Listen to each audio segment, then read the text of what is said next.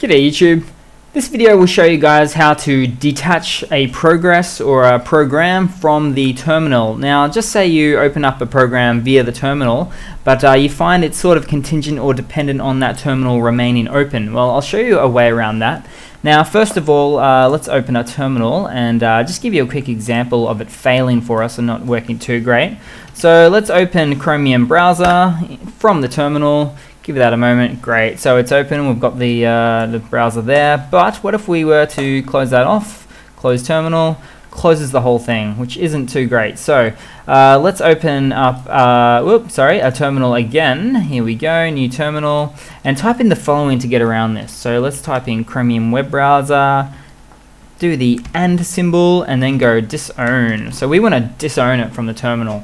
So let's hit that and hit enter and let that load. Now you can kind of already see it, it is uh, reacting differently in the terminal there. Now let's try this last part which closed out the terminal last time. Boom, so it's still there. So that could be great for scripting and all sorts of things. But uh, yeah, just a handy little neat tool there to show you guys. So cheers, thanks. If you, hope you've enjoyed guys. Ta.